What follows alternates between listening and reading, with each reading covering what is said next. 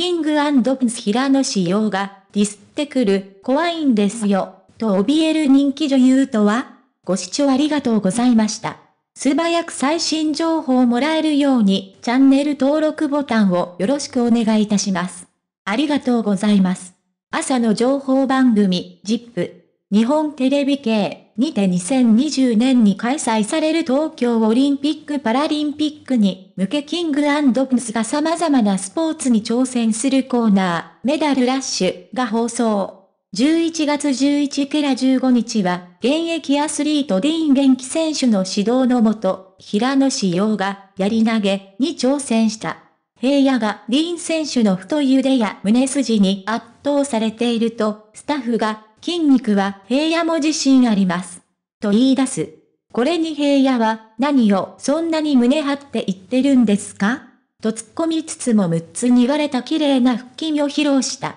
その後、実際の槍を見た平野は、なんか超、おさ、感ありません？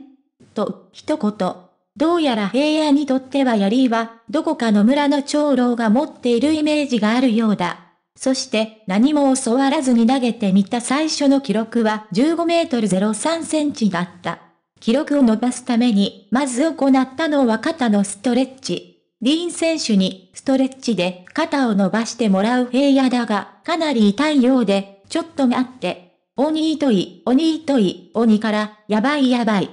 と、悶絶。ちなみに肩周りが柔らかいディーン選手は、四つん這いの状態で自由に肩甲骨を動かせる、とのことで、それを見たスタッフは、もうできるんじゃない？と平野にもやってみるよう促す。しかし、四つん這いになった平野は、肩ではなくお尻をプリプリと振っており、スタッフからお尻振ってるだけ、とツッコミが。これにはさすがの平野も恥ずかしそうに大爆笑していた。その後、構えや投げるフォーム、助走の練習をした平野の飛距離は劇的に伸び、助走なしの立ち投げで31メートル97センチを記録。ディーン選手とのハンデありの立ち投げ対決では負けてしまったが、ディーン選手曰く素人は30メートル飛べばかなりすごいとのこと。それを考えると平野の記録もかなりの好成績だ。そして最終日は6インチで合計210メートルに挑戦。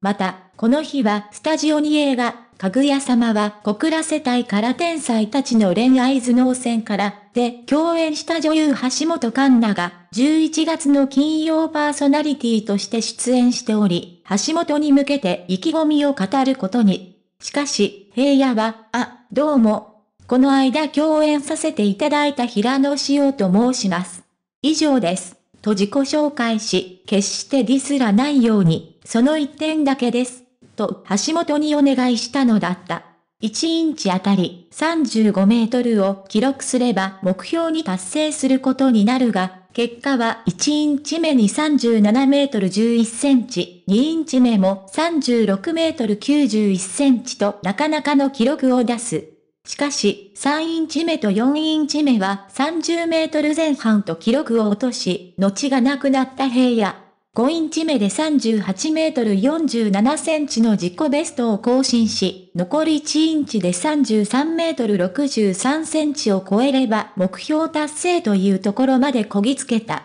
そして平野は最後の1インチに精神を集中させる。と思いきや、なんと足元に転がっていた芋虫に切られていたらしく、ナレーションで、とっとと投げろ、と言われてしまう。結局、約1メートル足りず失敗に終わり、スタッフから再度橋本へのメッセージを求められた平野は、彼女ちょっと怖いんですよ。すぐディスってくるから。と本音をローラした。スタジオにいる橋本からは、全然ダメですね、と言われてしまったが、ファンは、間接的なやりとりなのに息ぴったり、やっぱり、かぐや様コンビ最高。彼女の尻に敷かれている感が漂っていて可愛い、と二人のやりとりを楽しんでいたようだ。花山への、平野志陽さんプロフィール1997年1月29日生まれ、愛知県出身。圧倒的なセンスのダンススキルや歌声を持つ一方、チャーミングな発言とのギャップで多くのファンを魅了する。ご視聴ありがとうございました。